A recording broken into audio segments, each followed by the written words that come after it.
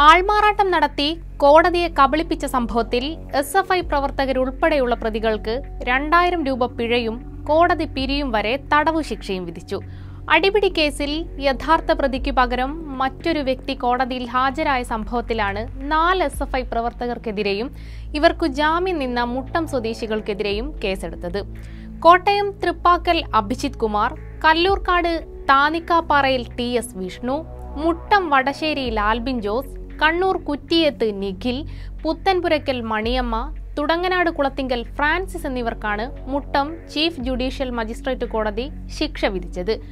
Muttom engineering കോളേജിൽ രണ്ടായിരത്തി പതിനാറിൽ നടന്ന S F I A B V P സംഘർഷവുമായി ബന്ധപ്പെട്ട കേസിൽ എസ് എഫ് ഐക്കാരായ അഭിജിത് കുമാർ ടി എസ് വിഷ്ണു മുനീഷ് ആൽബിൻ ജോസ് എന്നിവർ പ്രതികളായിരുന്നു. കോടതി സമൻസ് അയച്ച സാഹചര്യത്തിലും ഇവർ കോടതിയിൽ ഹാജരാവാതിരിക്കുകയായിരുന്നു. ഇതോടെ വാറന്റ് പുറപ്പെടുവിച്ചു. ഇതിനിടയ്ക്ക് കേസിലെ മൂന്നാം പ്രതിയായ മുനീഷ് വിദേശത്തേക്ക് കടന്നുകളയുകയും ചെയ്തു. പിന്നീട് നാല് പ്രതികൾ കോടതിയിലെത്തി ജാമ്യമെടുക്കുകയായിരുന്നു വിദേശത്തേക്ക് കടന്നുപോയ മുനീഷിനു പകരം നിഖിലാണ് കോടതിയിൽ ഹാജരായത്.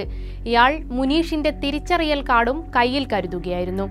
ഇവർ ആൾമാറാട്ടം നടത്തിയത് കോടതിക്ക് ബോധ്യപ്പെട്ട സാഹചര്യത്തിൽ കാര്യം മനസ്സിലാക്കിയ കോടതി നാല് പ്രതികളെയും ജാമ്യം നിന്ന മുട്ടം പുത്തൻപുരയ്ക്കൽ മണിയമ്മ തുടങ്ങനാട് കുളത്തിങ്കൽ ഫ്രാൻസിസ് എന്നിവരെയും അടിയന്തരമായി അറസ്റ്റ് ചെയ്ത് ഹാജരാക്കാൻ ഉത്തരവിടുകയായിരുന്നു.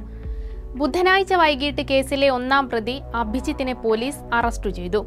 അഭിജിത്തിനെ പിടികൂടിയ വിവരമറിഞ്ഞ് എസ് എഫ് ഐ ഡിവൈഎഫ്ഐ പ്രവർത്തകർ പോലീസ് സ്റ്റേഷൻ വളഞ്ഞ് പ്രതിയെ മോചിപ്പിക്കാനുള്ള ശ്രമം നടത്തുകയും ചെയ്തു. ഇത് വലിയ സംഘർഷത്തിനിടയാക്കി.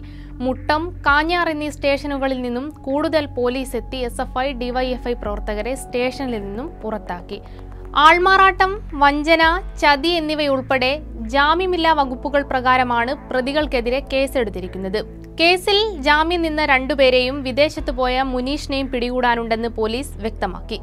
അതേസമയം മുട്ടം എഞ്ചിനീയറിംഗ് കോളേജിൽ S F I A B V P സംഘർഷവുമായി ബന്ധപ്പെട്ട് എസ് എഫ് ഐ പ്രവർത്തകരായ അഭിജിത് കുമാർ ടി എസ് വിഷ്ണു കോഴിക്കോട് മുഹസീൻ മൻസിൽ മുനീഷ് സിദ്ദീഖ് ആൽബിൻ ജോസ് എന്നിവരെ യഥാക്രമം ഒന്ന് മുതൽ നാല് വരെ പ്രതികളാക്കിയാണ് പോലീസ് കേസെടുത്തിരിക്കുന്നത്.